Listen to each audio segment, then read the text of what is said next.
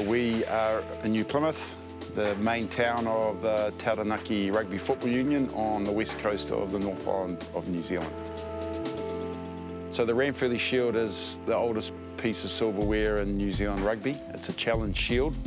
Taranaki has held the shield six times, so we're currently in our sixth tenure, and it's been operating since 1904. So it's a really big deal to hold it and a really big occasion to defend it. And we're really excited that we've got it in the province currently, and long may that continue. You sort of hear the, the tales of the, of the Ranfurly matches and you know the teams just um, step up to another level. There's a lot of hype around it and um, you know one day I'm sure it'll be back in Auckland Rugby's hands where, where, where it belongs but you know for now we'll just um, bide our time and, and wait for it.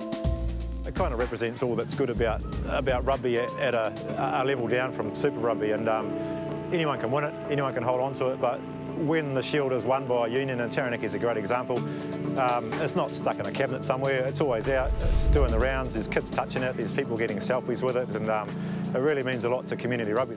The way it started, really, I mean, it was, it was something that um, every union in the country wanted to get their hands on to have it was was uh, you, you were seen as, as the prestigious union in the country if you had the Ranfurly Shield. So it just grew from there, and uh, the passion around playing for it and, and the parades and things that happened back in those days uh, was just incredible. You know, absolutely incredible. The only sort of experience I had was I was a part of the Auckland team in 2015, I want to say. We had a shot against Hawke's Bay. Um, didn't win it, but you know we we had the whole squad travel down. Um, we had the whole sort of Auckland rugby contingent travel down, you know, and that just shows how how special the award is and how prestigious that shield is. The big thing was in in the in the 50s when Taranaki first I got the Shield after 35 years, and that was a big stepping stone from Taranaki rugby then, from say 57 onwards. Uh, Taranaki's been one of the stronger provinces in New Zealand. Well, I first started Taranaki in 64 and uh, made a regular member of the Taranaki team.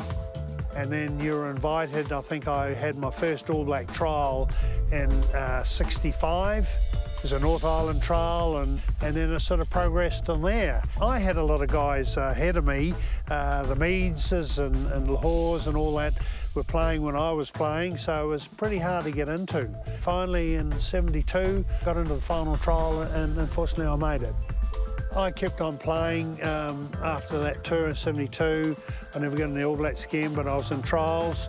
And then uh, my 100th game was against England in, in 1973, and we actually beat England 6-3. And then it got on to that I was getting close to 200 games, so uh, went for that. And actually, uh, my 200th game, we played against Italy, Taranaki did, and uh, we won that game as well. The key is to grow the game, make sure that a five-year-old can grow up in New Zealand anywhere in this province with a dream of becoming an All Black. So the region has 19 clubs, eight play in the Premier Club competition. So Clifton is our most northern club, and we go all the way to Hawera in the south, and we have the Coastal Club, which is on the west coast of the province. Beauden Barrett uh, grew up like literally two roads down from here.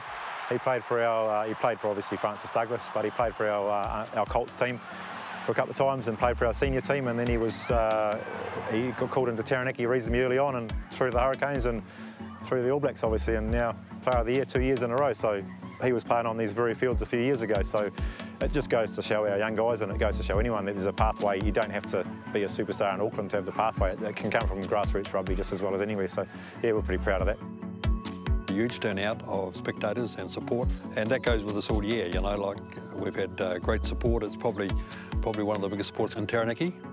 Boys are passionate about coming back and being part of that, so uh, it's a special culture relevant to, to the area.